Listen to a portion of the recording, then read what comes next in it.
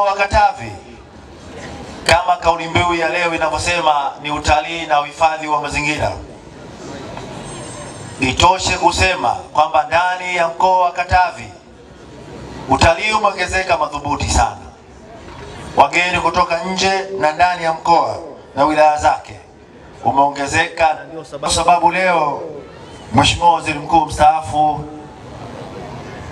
Mizengo Pinda ameongoza timu ya, ya mkoa kwenda kutangaza hifadhi yetu hii. Niwaombe na nitoe rai kwa wanakatavi wote kuendelea kutangaza mboga yetu, lakini na sisi kwenda kuona vivutio mbalimbali ambayo vipo katika mkoa wetu. Nitoe rai kwa watumishi, nitoe rai kwa wanafunzi pamoja na wananchi wote kuhakikisha kwamba tunapanga safari za kwenda kuutangaza utalii ndani ya mkoa wetu.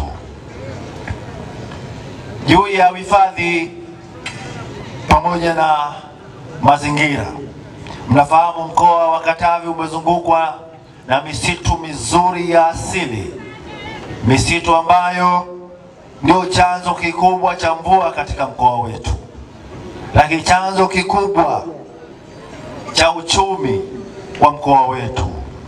Wako wananchi wengi ambao wamejiingiza katika ufugaji wa nyuki katika misitu yetu hii ya asili.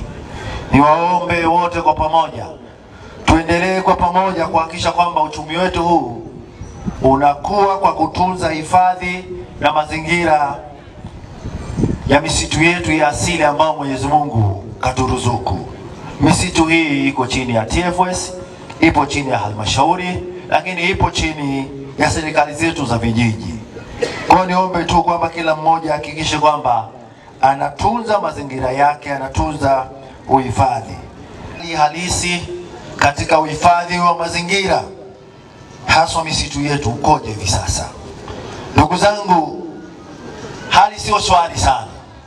Tuhakikishe kwamba sisi sote tunakuwa mabalozi na kupitia wiki ya Mwanakatavi tunakuwa ndio mabalozi wa kuhakikisha kwamba misitu yetu haiharibiwi.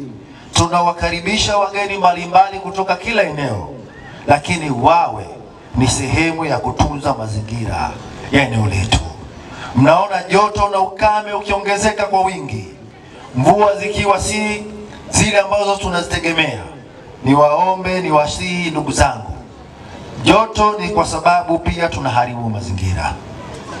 Sisi baada ya wiki hii ya Mwanakatavi, basi tutakaporejea katika maeneo yetu, tukahakikishe tunakuwa mabalozi wazuri wa kupanda miti na kuzuia ukataji wa miti, kwa sababu sheria zipo, na nitoe rai kwa watumishi wetu wote, watendaji wa vijiji na kata, kutumia sheria ndogo ndogo kuhakikisha kwamba hakuna mtu anakata mti bila kibali. Ndugu zangu, changamoto kama nilivyosema ya hali ya joto ile ambayo inaendelea, mikakati yetu ni ipi sasa kama mkoa?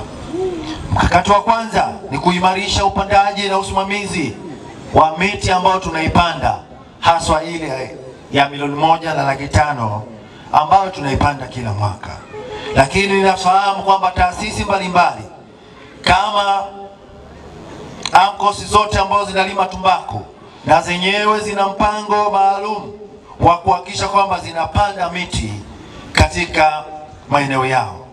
Basi niwaombe na niwasihi kuhakikisha kwamba wanapanda miti na wanaisimamia hadi ikue. Sasa tusiwe tunasomeana taarifa tu kwamba tumepanda miti, lakini uhalisia tukienda miti haionekani.